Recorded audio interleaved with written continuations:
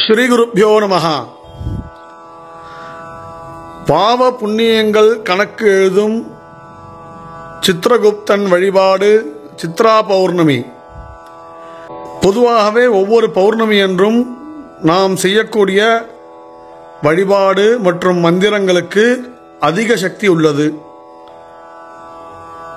வருடத்திற்கு ஒரு முறை வரும் சித்ரா பௌர்ணமி என்று சித்திரகுப்தனை வழிபாடு செய்ய யமதர்மராஜ சதஸில் கணக்காளராக இருக்கும் பாவ புண்ணிய கணக்கை எழுதும் ஸ்ரீ சித்திரகுப்தனுக்கு வழிபாடு செய்வது மிகவும் நல்லது. நிறைய பேர் நோட்டு பேனா கூட தானம் கொடுப்பா. நம்ம தெரிஞ்சு செஞ்ச பாவங்கள் தெரியாமல் செஞ்ச பாவங்கள் எல்லாம் நீங்கி நம்மளுக்கு புண்ணியம் கிடைக்கணும்.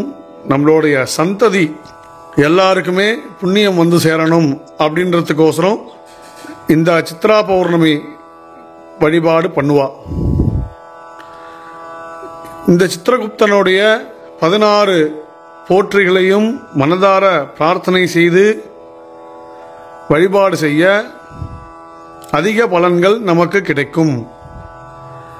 ஓம் கமலவர்ணனே போற்றி. ஓம் சித்திரை உருவே போற்றி. ஓம் பயம் போக்குபவனே போற்றி. ஓம் கால உருவே போற்றி. ஓம் ஞான உருவே போற்றி.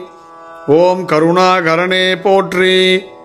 ஓம் கனக்கனே போற்றி. ஓம் தர்மராஜனே போற்றி. ஓம் தேவலோக வாசனே போற்றி. ஓம் ஆயுள் காரணனே போற்றி. ஓம் புண்ணிய தோற்றமுடையாய் போற்றி.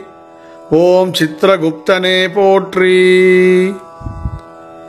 இந்த மந்திரத்தை அனைவரும் பக்தியுடன் படித்து மற்றவர்களுக்கும் ஷேர் செய்ய சித்திரகுப்தன் அருள் கிடைத்து நமது பாவங்கள் நீங்கி புண்ணியம் கிடைக்கும்.